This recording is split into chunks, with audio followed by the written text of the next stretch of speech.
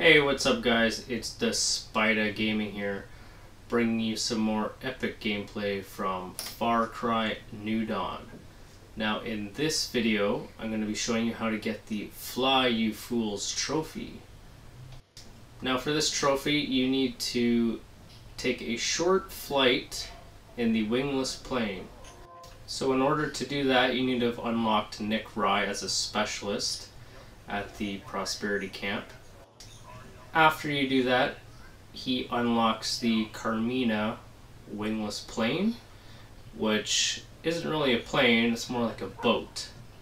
But we're gonna have to try to find a way to take a short little flight with this plane.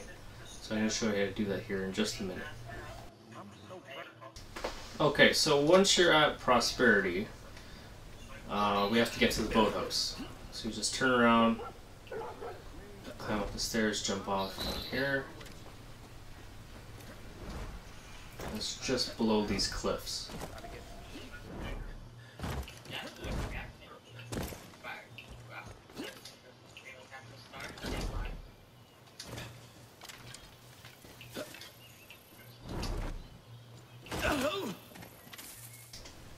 Okay, so now that you're at the boathouse, you're going to want to make sure you have crafted some dynamite.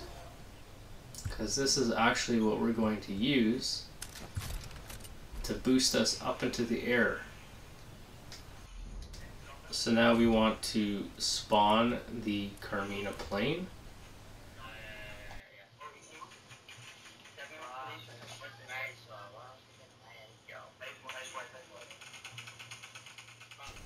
And once you do that, just head on over and jump in.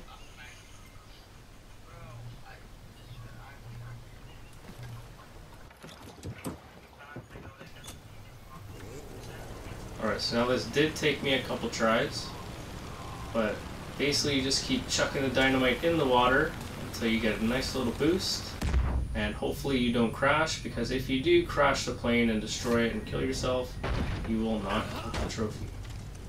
And there you have it guys. If this video has helped you, please smash the like button, leave a comment, and if you haven't already, please subscribe. It's free and it's going to help me out a lot.